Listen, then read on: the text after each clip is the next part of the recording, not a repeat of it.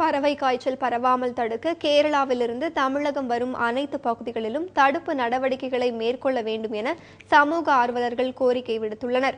கேரளாவில் பறவை காய்ச்சலால் ஏராளமான வாத்துகள் உயிரிழந்ததை அடுத்து தமிழகத்தில் அந்த நோய் பரவாமல் தடுக்க நடவடிக்கைகள் மேற்கொள்ளப்பட்டு வருகின்றன. குமரி மாவட்டத்தில் சுகாதாரத்துறை காவல்துறை கால்நடை பராமரிப்பு துறையினர் இணைந்து களியக்காவலை ஆரல்வாய் மொழி ஆகிய இரு இடங்களிலும் தீவிர கண்காணிப்பில் ஈடுபட்டுள்ளனர்.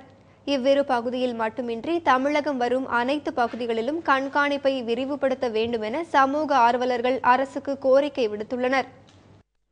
பறவை காய்ச்சல் தற்போது கேரள மாநிலத்தில் பரவி இருப்பதால் கேரளம் குமரி எல்கையான படந்தாலுமூட்டில் பறவை காய்ச்சலை கண்காணிப்பதற்காக இங்கு சோதனை சாவடி அமைத்து எங்களது மாவட்ட ஆட்சித்தலைவர் அறிவுரைப்படியும் கால்நடை பராமரிப்புத்துறை செயலர் மற்றும் இயக்குனர் அறிவுரையின்படியும் இங்கே இருபத்தி நாலு மணி நேரமும் இந்த நோய் கட்டுப்பாட்டுக்கு வரும் வரை நாங்கள் இங்கு கண்- கண்காணிப்பு குழு வைத்து கிருமி நாசினி தெளித்து வாகனங்களை அனுப்பி விடுகிறோம்.